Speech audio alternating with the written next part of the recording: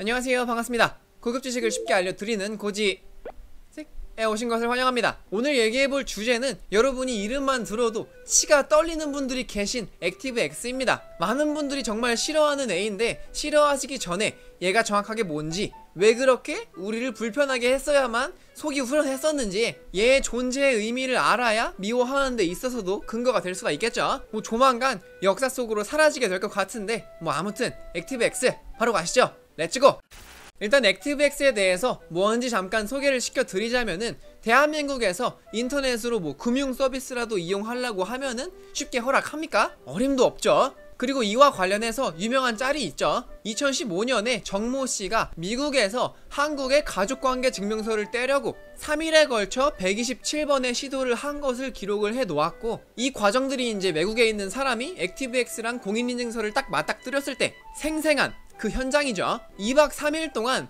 정말 다양한 시도를 한 끝에 결국에는 한국에 사는 가족에게 공인인증서 파일을 주니까 10분 만에 그 증명서를 얻었다는 이야기입니다. 그러니까 댓글로 야 이거 너무한 거 아니냐 혹은 뭐 야 이 맛에 대한민국 사는 거 아니겠습니까 등 온라인에서 분위기가 좀 흉흉했죠. 일단 액티브엑스가 뭔지 알기 전에 이때 시대적인 배경에 대해서 한번 얘기를 해볼게요. 1998년 대한민국에서는 IMF 금융위기를 맞아서 경기가 많이 침체되어 있었을 때였죠. 오, 막 다들 막 힘들어요. 근데 이때 정말 비정상적으로 광풍이 불면서 성장하고 있는 한 분야가 있었어요. 바로 IT 업계였습니다. 이 컴퓨터라는 게 이제 가정에 어느 정도 보급이 되었고 이때 당시에는 국내에 인터넷이 보급된 인구가 500만 정도였죠. 근데 막 들려오는 소문에 의하면은 인터넷이 널리 보급이 될 것이고 이게 세상을 완전히 바꿀 거라고 막 사람들이 다들 인터넷에 대해서 열광을 하고 있어요. 회사 이름에 컴퓨터 관련 단어가 들어가기만 해도 주가가 막 몇 배, 몇십 배씩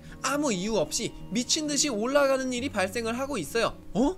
그래? 나도 한번 타보자 하면서 회사들이 갑자기 회사의 이름을 바꾸기 시작합니다. 한글과 컴퓨터. 크, 새로운 기술.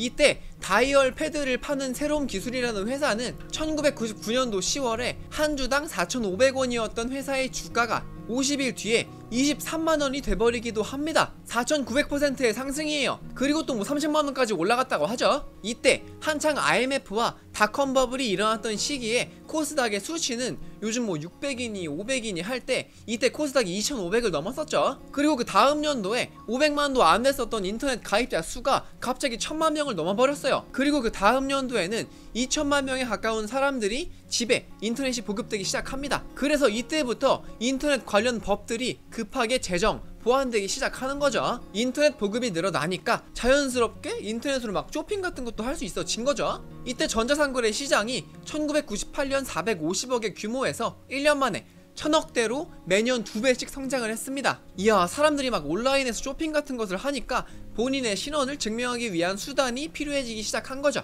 그래서 나온 게 전자서명입니다. 온라인상에서 안전하게 거래할 수 있게 도와줄게 하는 거죠. 그래서 이제 전자서명법을 위해서 온라인 서명과 관련된 법적인 근거를 정해야 되는데 또 두 축으로 나뉘어서 대립을 하게 되는 거죠. 첫 번째, 상공회의소와 행정부가 손을 잡고 우리가 그 전자인감을 보증하겠다. 두 번째, 은행, 보험, 뭐 금융결제원이 손을 잡고 우리가 그 전자인감 따로 보증을 하겠다. 싸우다가 그냥 둘 다 하라고 해버립니다. 근데 한 가지 조건이 암호화 알고리즘은 국내 기술로 해라 라고 조건을 건 뒤에 행정부 보증의 사인은 KICA 정보 인증으로부터 금융결제원 보증은 yesSign으로부터 도움을 받게 된 거죠. 그렇게 해서 이 공인 인증서라는 걸 만들게 되었어요. 야 이거 보안 기술도 우리 기술로 했고 이제 이걸로 본인 인증을 해야겠다 해서 시스템을 구축해가지고 이제 인증을 도와주는 프로그램을 브라우저에 넣어줘야 됐죠. 그래서 사람들이 쓰는 인터넷 브라우저를 보니까 야, 이 대한민국에서는 대부분 마이크로소프트의 IE를 쓰고 있었던 거죠. 근데 이거 어떻게요?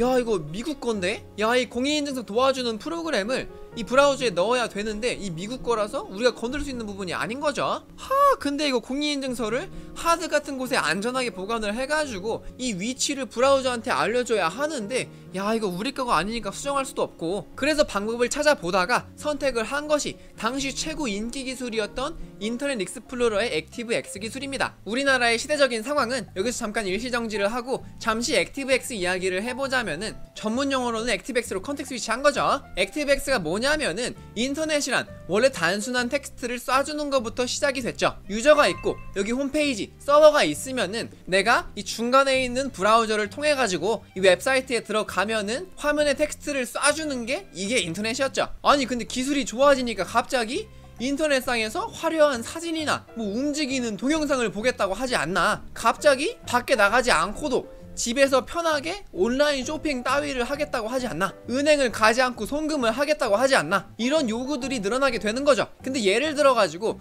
브라우저 상에서 이 사용자가 동영상을 본다고 하면은 이 동영상은 서버 쪽에 있을 것이고 그러면은 이 동영상을 해석해서 재생해주는 동영상 플레이어가 있어야 될 거 아닙니까? 그죠? 그러면 이제 플레이어를 놔야 되는데 셋이 눈치를 싹 봅니다. 야, 이 동영상 플레이어를 누구한테 놔야 좋을까? 하다가 야, 당연히 중간에 있는 브라우저에 있어야지 하게 된 거죠. 그래서 가져갑니다. 이렇게 한두 개씩 가져가다 보면은 이 브라우저는 살이 찌겠죠. 무거워지는 거예요. 근데 이렇게 한두 개씩 받아주다 보니까 사람들은 야, 왜 이렇게 browsing이 느려?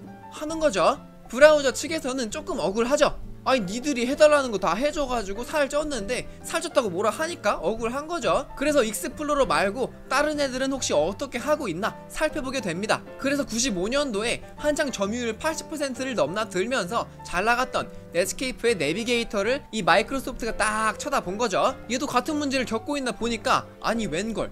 얘 홀쭉하네. 가벼웠던 거죠. 그래서 익스플로러가 야 너 부가 기능이나 뭐 나중에 동영상 같은 건 안 보여줄 거야? 얘 혹시 어떻게 몸의 크기를 줄였나 보니까 NPAPI라는 걸 쓰고 있어요. 예를 들어서 동영상 플레이어나 뭐 기타 플러그인, 부가 기능들을 브라우저가 가지고 있는 게 아니라 유저 쪽으로 돌리는 기술이었던 거죠. 마치 웹 브라우저는 가벼운 게 좋기 때문에 내가 복잡한 계산을 하는 것보다 이 어려운 계산들은 이 사양이 좋은 유저 컴퓨터가 대신 해주십사 편지 남깁니다. 딱 써놓고 모든 부담들을 유저에게 맡기고 있었어요. 마이크로소프트는 어 뭐야 이 기능? 어, 어, 어, 이 기능 아, 원래 우리가 하려고 했던 건데? 하고 1년 뒤인 1996년도에 액티브 X라고 이름을 멋있게 지어가지고 IE에 추가를 시킵니다. 그러면서 앞으로 IE에서는 액티브 X를 이용해서 다양한 기능들을 지원합니다. 라고 하면서 사실 대부분의 어려운 일들을 유저 컴퓨터에 설치함으로써 IE가 조금 더 가벼워지게 된 거죠. 유저들은 환호를 했어요. 와, 웹사이트에서 이 게임 시작 버튼만 누르면은 알아서 installer가 열려가지고 게임을 설치를 하고 막 인터넷에서 음악도 재생이 되고 God 액티브 X 인터넷을 다음 차원으로 바꾸어 놓으셨다. 다시 아까 얘기로 컨텍 스위치에서 돌아오게 되면은 그래서 정부도 이를 마다할 이유가 없었죠. 전자 서명과 관련을 해가지고 공인 인증서를 우리 암호 알고리즘으로 만들어야 한다 라고 한다면은 뭐 어차피 우리나라에서는 대부분 IE를 쓰니까 액티브X를 이용하여서 우리나라만의 전자서명을 만들자 라고 하는 전자서명법이 1999년도에 제정이 되게 됩니다 그리고 2001년도 IMF 극복 인터넷 보급률 2500만 육박 그리고 닷컴 버블 사태가 터집니다. 미친 듯이 올랐던 닷컴 버블 관련 IT 회사들 주가에 끼인 거품들이 한 번에 꺼지기 시작했어요. 그러면서 무리하게 사업을 확장했던 뭐 라이코스 등 많은 IT 회사들이 소리 소문 없이 사라지고 있습니다. 경제적으로는 무척 혼란스러웠죠. 근데 일반 시민들에게는 인터넷이라는 게 이미 널리 보급이 된 상태였죠. 그래서 발전은 계속 이루어지고 마이크로소프트의 IE는 더욱더 많은 기능을 액티브엑스로 제공하고 있고 어느새 IE가 브라우저 전쟁에 이기는 듯한 점유율을 보이면서 이 내비게이터를 거의 멸종 직전까지 몰아붙였던 시기예요. 야, 이 IE에서 아주 많은 기능을 지원하고 좋아요. 좋은데 어느새 야 이거 조금씩 선을 넘네? 2002년도 3년도에는 인터넷 뱅킹이나 증권 거래 시에 공인인증서 사용을 의무화해야 했던 시기였죠. 아니 근데 도대체 몇 개를 설치하라고 하는 거야? 내 하드를 액티브엑스로 채우고 있었던 거예요. 일단 액티브엑스의 편리함과 반대로 단점도 너무나도 명확했죠. 첫 번째, 일단 유저들이 불편해했어요. 뭘 막 설치하라고 하고 설치했는데 뭐 윈도우 재부팅 하라 그러고 이 재부팅을 해가지고 다시 인터넷을 켜가지고 그 웹사이트에 들어가면은 야 설치가 안 됐다 하네. 그러면 다시 설치하고 재부팅하고. 너무 불편하죠? 그리고 두 번째 호환성도 약했어요. 예를 들어서 넷마블에서 어떤 게임을 하려고 하면은 액티브엑스를 지원하는 IE 아니면은 페이지 로딩이 이상한 거죠. 그리고 또 호환성이 너무 약해가지고 심지어는 뭐 지들끼리도 호환이 안 됐었어요. 뭐 IE8에서는 되다가 IE7에서는 안 되고 IE6에서도 안 되고 뭐 액티브엑스가 오래 됐니 안 되니 하면서 지들끼리도 호환이 안 됐죠 그리고 호환성의 정점은 이 IE는 마이크로소프트와 강하게 연결이 되어 있었기 때문에 이 맥OS를 쓰는 사람들은 아주 불편한 일도 많이 발생을 했죠. 이만큼 호환성이 안 좋았습니다. 세 번째, 보안이 너무 약했어요. 이게 사실 제일 중요한 부분이죠. 액티브 X는 유저들의 컴퓨터 안에서 계산이 이루어져야 하는 특성상 인터넷 브라우저가 유저의 컴퓨터를 통제할 수 있는 어떠한 권한이 생기기 마련이에요. 야, 유저가 웹사이트에서 지금 게임 실행을 눌렀어. 유저 컴퓨터 내에 어떤 starter 파일을 실행해줘. 뭐 이런 거죠. 권한이 있는 거예요. 그러면서 뭐 귀찮아가지고 뭐 설치한다고 하면은 아무거나 막 설치하는 유저들의 특성상 내 컴퓨터의 모든 권한을 통째로 허위 액티브엑스에게 줘버리는 상황이 발생을 하니까 야 나중에는 사람들이 액티브엑스 이 자체가 바이러스인 줄 알고 뭐 액티브엑스 지우는 법 이런 게 실시간 검색어로 오르는 상황이 발생을 하는 거죠. 그래서 대처는 다음과 같은 방식으로 이루어집니다. 약간 이 대처가 군대 스타일이었는데 이 우리나라 사람들은 뭐? 액티브엑스가 보안에 약하다고? 그러면은 보안 액티브엑스 추가시켜. 액티브엑스 보안은 액티브엑스가 담당한다. 그래서 그때부터는 정말 필요한 기능의 플러그인 그리고 그걸 보호하는 보안 플러그인 한 4개. 안 그래도 거슬렸던 뭐 액티브엑스가 뭐 키보드니 뭐 마우스니 뭐 다 보호해준다고 하면서 뭐 등본 하나 떼는데 몇십 개를 깔아야 됐어요. 그러면서 사람들의 원성은 더욱 커져만 가고 있었습니다. 상황이 최악으로 빠지게 된 거죠. 그러다가 2014년도에 별에서 온 그대라는 드라마가 중국에서 대박이 납니다. 크, 한류. 막 천송이의 코트를 살려고 중국인들이 막 웹사이트에 들어와요. 근데 그 똑똑한 천재 중국인들도 액티브엑스로 인해서 직구를 실패했다. 라는 여론이 갑자기 생겨나기 시작합니다. 그래서 우리나라는 생각을 하게 된 거죠. 야, 이미 다른 나라들은 액티브엑스를 쓰는 웹사이트를 찾아보기가 힘들고 이 액티브엑스가 문제가 있긴 하구나. 야, 만약 액티브엑스가 없었으면은 막 코트도 팔고 해외 직구로 인한 매출이 오를 거 아니야. 해서 법안을 개정하는데 액티브엑스를 의무적으로 사용해야만 한다라는 규정에서 의무적으로는 사용하지 않아도 된다. 정도로 아주 약하게 법안이 약해진 거죠. 그리고 2014년도에는 마이크로소프트의 IE 측도 사실 액티브엑스를 포함한 IE를 더 이상 사용하기 싫어했어요. 아니 이거 너무 오래된 브라우저라서 이거 어디서부터 건드려야 될지 모르겠는 거죠. 뭐 이런저런 문제도 많이 생기고요. 그리고 막 크롬이나 파이어폭스 같은 애들이 이 발전된 플랫폼을 가지고 나와가지고 자꾸 가벼운 매력으로 우리 점유율을 갉아먹고 있고 우리도 이제 새 시대에 맞추어서 가벼운 브라우저로 나가야겠다 한 거죠. 그래서 마이크로소프트는 IE의 개발을 잠정 중단을 하고 이 내년에 출시될 윈도우 10에 넣을 엣지라는 브라우저를 새로 넣으려고 열심히 제작하고 있었습니다. 이 엣지는 액티브엑스를 잘 지원하지 않는 버전이었죠. 이 엣지도 크롬의 전신 크로미움으로부터 파생된 브라우저예요. 그리고 2015년도에 엣지를 담은 윈도우 10을 출시하려고 하고 있었고 구글 크롬과 파이어폭스도 부가 기능으로 제공됐었던 액티브엑스나 뭐 NPAPI 기능을 중단한다고 발표하던 시기였어요. 어느 날 긴급 회의가 소집이 됩니다. 많은 사람들이 한 자리에 모이게 된 거죠. 이 자리에는 뭐 구글 코리아 정책 본부장, 뭐 미래창조과학부, 뭐 인터넷진흥원, 그리고 뭐 A은행, B은행, C은행 이 주요한 사람들이 모이게 됩니다. 야, 이 얘기를 들어보니까 이 마이크로소프트도 이제 엣지로 가면서 뭐 액티브엑스를 없앤다고 하고 구글 크롬과 파이어폭스도 뭐 MP API 기능을 중단한다고 하는데 우리나라는 아직 IE 점유율이 60%가 넘는데 또 공인인증서를 쓰면서 금융거래를 하는데 이거 되겠습니까? 혹시 뭐 저희 금융거래 막 마비되는 거 보고 싶으신 거예요? 그냥 조금만 더 연장해주세요. 한 거죠. 그리고 자존심이 상한 우리나라는 중대한 결정을 내립니다. 오케이.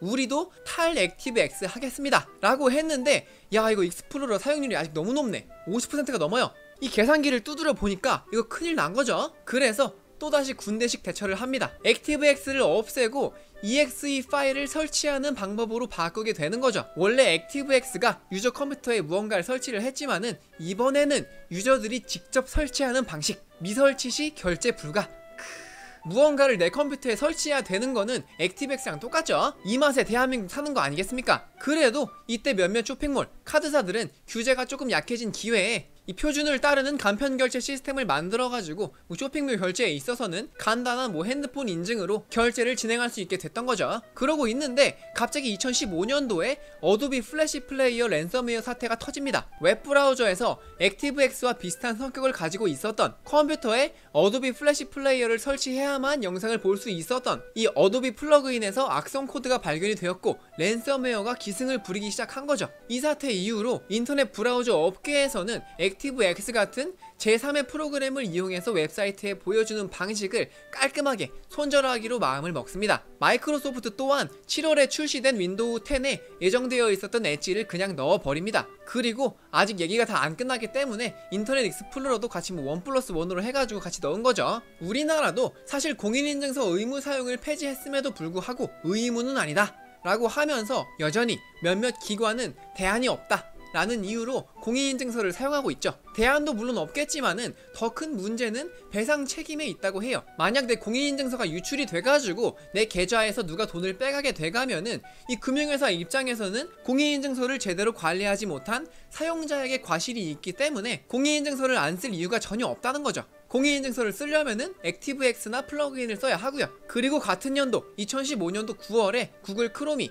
NPAPI를 통한 .exe 파일도 전면 중단을 선언을 했고 2016년 파이어폭스도 액티브엑스 지원을 완전히 중단을 하게 됩니다. 이제 브라우저 업계 내에서도 이제 플러그인들을 없애고 HTML5 표준을 따라가면서 브라우저 자체적으로 최대한 가볍게 지원해야 되겠다라는 목표로 웹 브라우저들이 경쟁을 하고 있는 거죠. 2019년도 점유율을 보면은 크롬이 약 60%가 안 되고 IE가 12%를 보이네요. 여전히 많이 사용하고 있긴 합니다. 특히 서류를 떼거나 금융거래를 하기 위해서는 여전히 컴퓨터에서는 공인인증서가 필요하기는 합니다. 그래서 저도 IE를 아직까지 가끔 열면서 서류를 떼기도 하죠. 이렇게 금융업계랑 관공서가 액티브X 같은 유사 플러그인들을 떼고 싶지만 떼지 않고 있는 이 질긴 인연을 이어가니까 심지어 마이크로소프트의 잭슨 수석 매니저가 제발 IE 좀 죽여달라 라는 글을 올릴 정도로 상황이 진행이 된 거죠. 이 글에서 잭슨은 마소의 IE 지원은 중단한 지 오래됐다. 제발 할머니에게 받은 옷장으로 신혼집 인테리어를 멈추어 달라. 심지어는 자기가 참여한 프로젝트임에도 불구하고 IE는 웹브라우저가 아니다.